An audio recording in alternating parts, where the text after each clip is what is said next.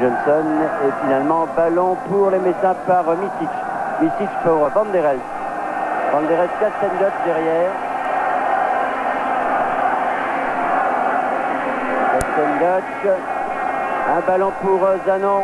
Ah, Zanon qui Allez. glisse euh, sur cette balle. Gil Johnson en contre-attaque. Attention à Koutsevic, le 11. Gil Johnson qui part tout seul.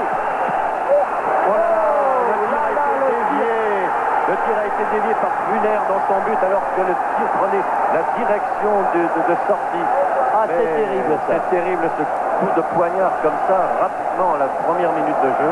Ah oui, ça c'est un véritable coup de poignard. Euh, on le revoit ce but, ce tir euh, de Gun Johnson euh, qui allait complètement à côté. C'est le jeune Butner Oui, qui s'est trouvé sur la trajectoire de la balle Ah, c'est malheureux. et qui a mis ce ballon dès la première minute donc dans les buts de Metz. On sait qu'en Coupe d'Europe.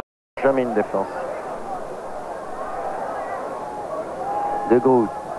De Groot, Andersen. Andersen, attention. Oula, il va vite. hein.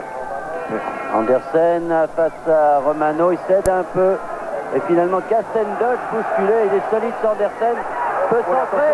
Oh, le Et deuxième but. Ah là là. de Kruncevic. Kruncevic, ouais. C'est Andersen qui a fait tout le travail en force sur l'aile gauche et qui a réussi après ça un bon centre Du reste, sur la tête de Kruncevic. tous les joueurs d'Anderlecht vont féliciter euh, Andersen qui a résisté à deux charges, celle de, de Romano et celle de Castendoc pour centrer sur la tête de Kruncevic qui a donc à la 26e minute de jeu. Vous venez de le revoir, le revoir peut-être une euh, troisième fois.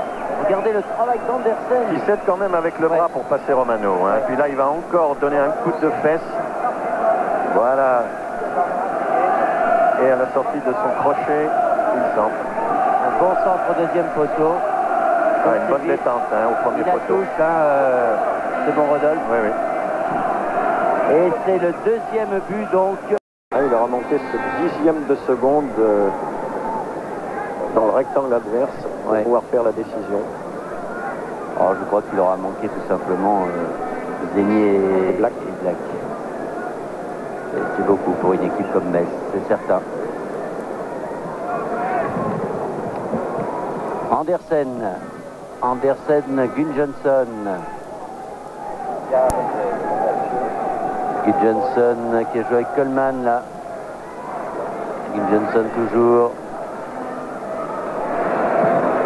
Manola Oh, attention, ce but, Et oui, troisième but. Il a complètement lobé Rodolphe. Encore au deuxième poteau. Oui, et toujours par Kruncevic. Remarquable joueur de tête. Ah là là, si 2-0 c'était sévère, 3-0 c'est encore plus sévère, dirait. On le revoit ce, ce but Oui, c'est une des rares sur fois. ses centres au deuxième poteau. C'est une des rares fois où ils ont été jusqu'au bout depuis un quart d'heure de jeu. Et ça a été avec réussite. Ouais, regardez encore ce ralenti. Et c'est Kruncevic que l'on a pratiquement pas vu dans le jeu. Cours de la, au cours de la deuxième mi-temps surtout, a mis deux buts. Et oui. Mais il faut dire qu'avec des partenaires comme Gus Johnson, qui me fait une impression remarquable. Ah oui. Là, mon cher Zanon. Bernard, Oui. un coup de poing intéressant, Marcel. Oui, enfin, l'occupation, carottes sont cuites. Hein. Je crois que si on pouvait revenir un tout petit peu au score, ça serait récompensé sur notre deuxième mi-temps. Mais il est certain que c'est une équipe qui est beaucoup plus habituée à la Coupe, d'Europe, on le sait de toute façon, puisque 150 matchs, plus agressifs, et ils font chaque fois faute. On a eu beaucoup de fautes aux abords des 16 mètres parce qu'ils ils maîtrisent bien leur sujet. Et je crois que, que pour nous, cette faire est, est- est tellement sévère et je crois quand même elle est en partie injuste parce qu'on ne mérite jamais de, de perdre 3-0. Zanon. Oh, il a bien joué. Et voilà Zanon qui l'a tiré complètement de l'autre côté. Plus en force que Continès.